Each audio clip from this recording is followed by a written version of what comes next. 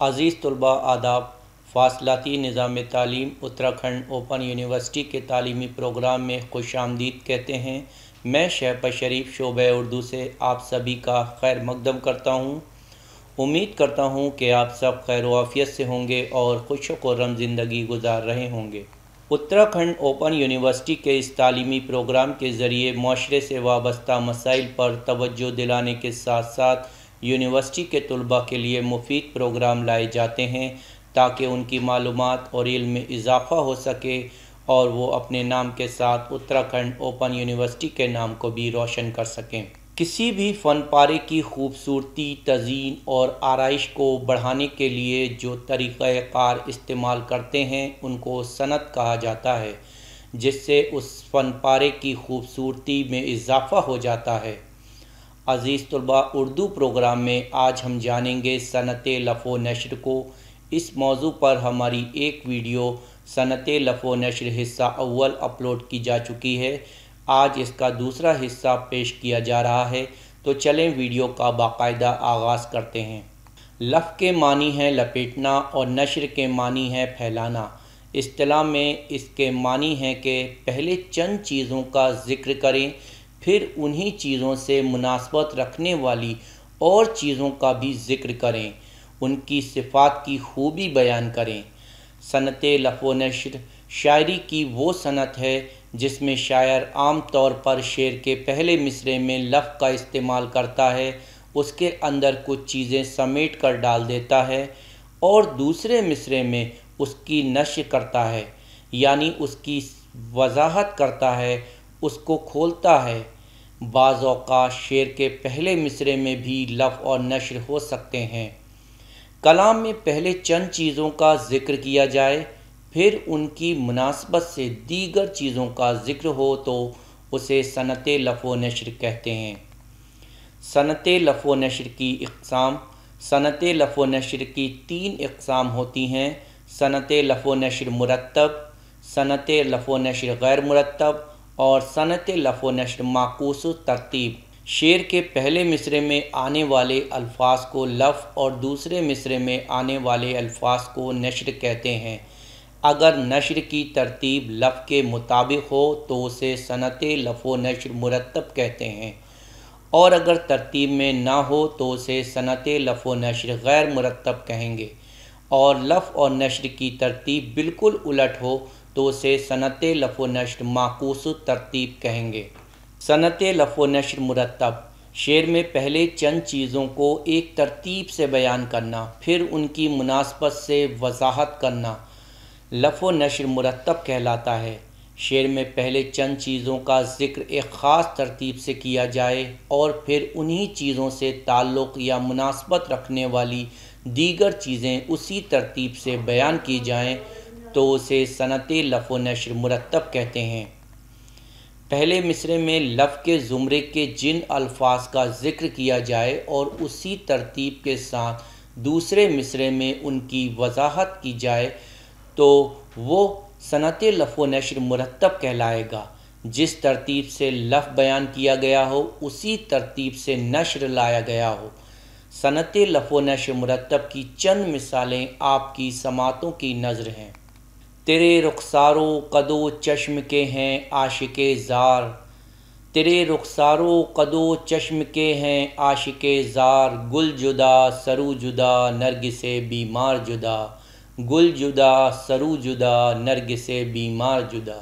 नरगिस एक किस्म के फूल का नाम है जो प्याला और आँख से बहुत मुशाबे होता है। सरू सरू एक सीधा, लंबा दरख्त होता है उसको माशूक के कद से तशबी दी जाती है। रुखसार की मुनासबत से गुल को लाया गया, कद की मुनासबत से सरू को लाया गया, चश्म यानी आँख की मुनासबत से नरगिस को और आशिक ज़ार की मुनासबत से बीमार को।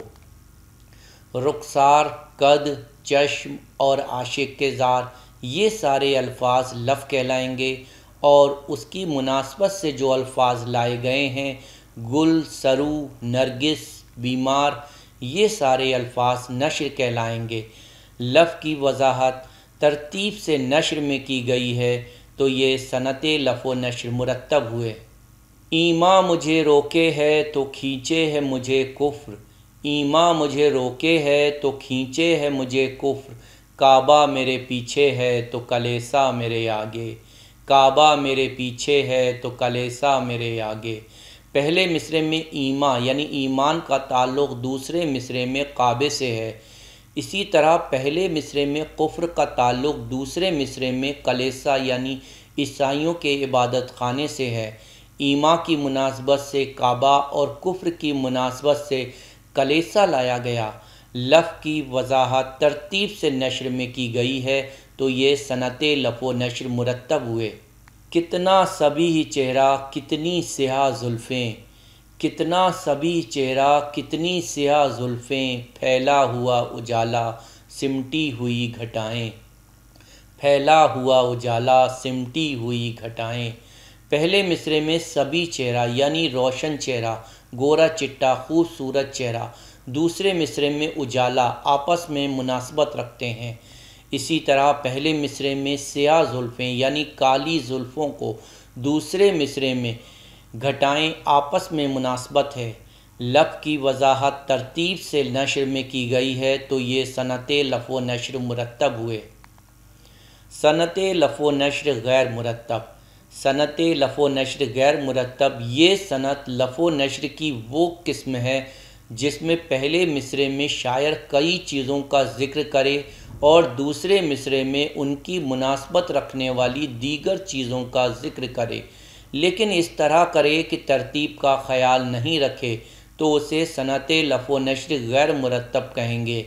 अगर दो से ज़्यादा चीज़ें हैं और वो तरतीब में नहीं हैं तो उसे सनत लफ़ो नशर गैर मुरतब कहेंगे।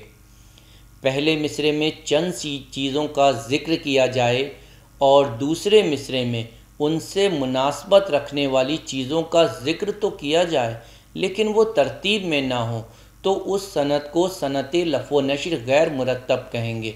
पेश हैं सनत लफ़ो नशर गैर मुरतब की ये मिसाल। रुए ताबा जुल्फ़ मुश्की कामत राना तेरा, रुए ताबा जुल्फ़ मुश्की कामत राना तेरा, सरू है सुम्बुल है और खुर्शीद आलम ताब है। सरू है सुम्बुल है और खुर्शीद आलम ताब है। रुए ताबा, जुल्फ़ मुश्की और कामत राना, ये लफ़ के ज़ुमरे में आएँगे। सरू सुम्बुल और खुर्शीद, ये नशर के ज़ुमरे में आएँगे। रुए ताबा यानी चमकता हुआ चेहरा, रोशन चेहरा, जुल्फ़ मशकी यानी कि सिया बाल, सिया जुल्फ़ें, कामत राना यानी खूबसूरत कद। सरू एक सीधा लंबा दरख्त होता है, जिसको माशूक के कद से तशबी दी जाती है। सुम्बुल एक खुशबूदार स्याही माइल फूल, फल, घास, जिसे शोरा, माशूक की जुल्फ़ और गेसू से तशबी देते हैं। खुर्शीद यानी सूरज, आफ्ताब, पहले मिसरे में रुएँ ताबा यानी रोशन चेहरा की मुनासबत से दूसरे मिसरे में खुर्शीद यानी सूरज को लाया गया है। इसी तरह जुल्फ़ मुश्किन यानी सिया जुल्फ़ों की मुनासबत से सुम्बुल को लाया गया है और कामत राना यानी खूबसूरत कत की मुनासबत से सरू को लाया गया है। इस तरह इनकी तरतीब बिगड़ी हुई है। ये सनत लफ़ो नशर गैर मुरतब हुए। सनत लफ़ो नशर माकूस तरतीब। लफ़ो नशर माकूस तरतीब वो सनत है जिसमें लफ़ और नशर की तरतीब बिल्कुल उलट हो। अगर दो चीज़ों का ज़िक्र पहले मिसरे में हो और दो चीज़ों का ज़िक्र दूसरे मिसरे में हो और उन दो चीज़ों की तरतीब उलट हो तो उसे सनत लफ़ो नशर माकूस तरतीब कहेंगे। सनत लफ़ो नशर माकूस तरतीब की चंद मिसालें आपकी समातों की नज़र हैं। कभी जो जुल्फ़ उठा दे तो मुँह नज़र आए, कभी जो जुल्फ़ उठा दे तो मुँह नज़र आए इसी उम्मीद पे गुज़री है सुबह व शाम हमी। इसी उम्मीद पे गुज़री है सुबह व शाम हमी। पहले मिसरे में जुल्फ़ और मुँह का ज़िक्र है और उसी की मुनासबत से दूसरे मिसरे में सुबह का लफ्ज़ मुँह के लिए और शाम का लफ्ज़ जुल्फ़ के लिए लाए गए हैं। लफ़ और नशर की तरतीब यहाँ उलट है तो ये सनत लफ़ व नशर माकूस तरतीब होगी। तेरे आज़ाद बंदों की न ये दुनिया, न वो दुनिया। तेरे आज़ाद बंदों की न ये दुनिया, न वो दुनिया। यहाँ मरने की पाबंदी, वहाँ जीने की पाबंदी। यहाँ मरने की पाबंदी, वहाँ जीने की पाबंदी। पहले मिसरे में ये दुनिया और वो दुनिया का ज़िक्र है और उसी की मुनासबत से दूसरे मिसरे में मरने और जीने की बात हो रही है। ये दुनिया से मुराद हम जो इस दुनिया में जी रहे हैं ये दुनिया है और वो दुनिया से मुराद मरने के बाद जो रोज़े मैशर आएगा, उसके बाद जो ज़िंदगी है। दूसरे मिसरे में मरने की पाबंदी और जीने की पाबंदी का ज़िक्र है। ये दुनिया को मिलाएँगे जीने के साथ और वो दुनिया को मिलाएँगे मरने के साथ। लफ़ और नशर की तरतीब बिल्कुल उलट हो गई है। तो ये सनत लफ़ व नशर माकूस तरतीब होगी। जुल्फ़ रुख के साय में ज़िंदगी गुजारी है। जुल्फ़ रुख के साय में ज़िंदगी गुजारी है। धूप भी हमारी है, छाँव भी हमारी है। धूप भी हमारी है, छाँव भी हमारी है। पहले मिसरे में जुल्फ़ और रुख का ज़िक्र है। दूसरे मिसरे में पहले धूप का ज़िक्र है, फिर छाँव का ज़िक्र है। जुल्फ़ को नस्बत हो सकती है छाँव के साथ और रुख को नस्बत हो सकती है धूप के साथ। लफ़ और नशर में तरतीब का सही ख्याल नहीं रखा गया है तो ये सनत लफ़ व नशर माकूस तरतीब हुई। अज़ीज़ तलबा, ये था फासलाती निज़ाम तालीम, उत्तराखंड ओपन यूनिवर्सिटी का तालीमी प्रोग्राम, जहाँ आज सनत लफ़ नशर को तफसील से मैं मिसाल समझाया गया। उम्मीद करते हैं सनत लफ़ नशर के पहले और दूसरे हिस्से में जितनी मिसालें पेश की गई हैं उससे आपको सनत लफो नश और उसकी इकसाम अच्छे से समझ आई होंगी। मिलते हैं फिर किसी नए उनवान के साथ। शुक्रिया।